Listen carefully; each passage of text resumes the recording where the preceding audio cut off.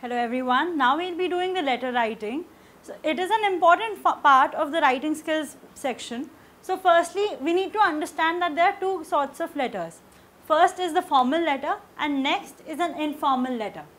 What is the difference? Formal letters are basically written to your bosses or some company where you might want to ask about some product they have or some trip they are launching or to maybe the editor of a newspaper to whom you want to raise an issue. Next we have informal letters. They are basically written to people you know who are close to you. Okay.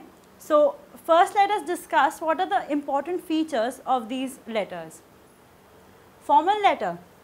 First use formal but not highly technical language because see when you are writing about a product uh, the letter is going to go to the human resources or the complaints office and not directly to the engineers there. So you have to make sure that you do not write very technical language. Rather, just use formal language. Next, present the objective in a clear and concise manner. Do not elaborate your issue very much. Present it in a very concise manner, make it in brief and make, it, make sure that your point is being well read. Next is remain professional, do not be vague. Again, do not go haywire with your subject, do not, do not go over the top, remain in your limits and stay polite. Even though if you are angry, maybe you want to write a complaint letter and you are very angry about what product you have got.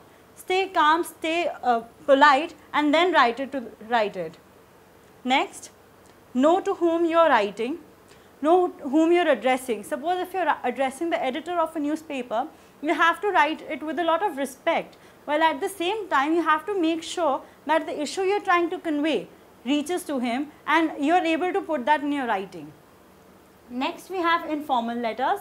They're less formal than the formal letters since you're not writing to some person of a position. You're just writing to a relative or maybe your sister or somebody. So uh, eh, they're less formal. Next, the first paragraph should basically explain what you're writing them to for. For example, if you're writing for a wedding, make sure that you put that in the first stanza itself. Also, tell how you've been. Since you're writing a letter, so it is good if the other person knows, okay, where you are, how you've been, what you've been doing. So that is a nice way to start the letter, especially an informal one. Again, in the body you would elaborate why you have written the letter. Suppose it's your wedding, then you will give the details of the wedding, the venue, the date, etc. And you will write if you have any special requests from them or if you want them to arrive early or whatever the details are of the wedding. In the last stanza, you will wish the receiver well.